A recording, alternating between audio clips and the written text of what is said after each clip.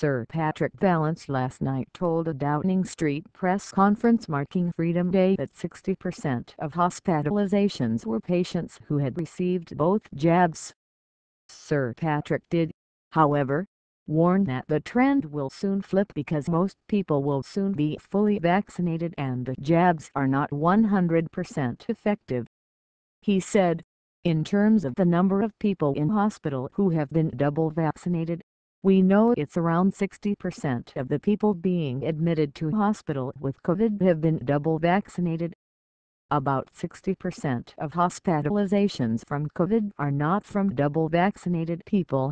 Rather 60% of hospitalizations from COVID are currently from unvaccinated people.